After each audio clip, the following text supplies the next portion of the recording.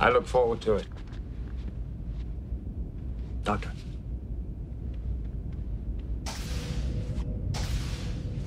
Something more, Mr. Data?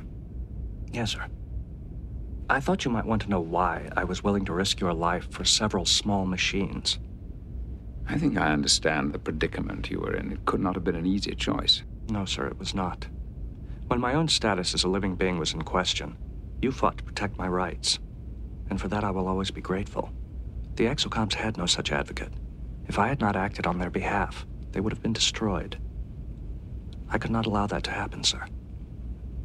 Of course you couldn't. It was the most human decision you've ever made.